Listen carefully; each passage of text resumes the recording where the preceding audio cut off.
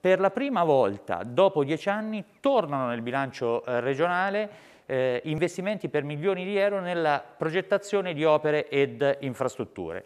5,7 milioni di euro in un fondo rotativo che toccherà tutte le eh, province e che darà una spinta fondamentale alla realizzazione di nuove opere infrastrutturali, all'interconnessione e all'intermodalità delle opere già esistenti.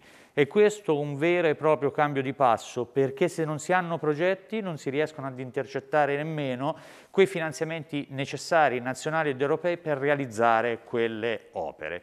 Lo stesso accade nell'edilizia sanitaria ospedaliera. La visione della nuova giunta, sia da un punto di vista infrastrutturale che da un punto di vista di riorganizzazione eh, sanitaria, è diametralmente opposta a quella che abbiamo vissuto negli anni eh, scorsi e anche nei primi mesi di eh, quest'anno. Una serie di strutture filtro nell'entroterra che agevolino le strutture maggiori della costa contro un intasamento che si è verificato proprio in questi ultimi anni, soprattutto dopo la chiusura nel 2015 delle 13 eh, strutture ospedaliere marchigiane riconvertite. E allora che cosa abbiamo fatto? Abbiamo previsto ulteriori fondi propri della Regione Marche per l'adeguamento delle strutture sanitarie ed ospedaliere della nostra Regione.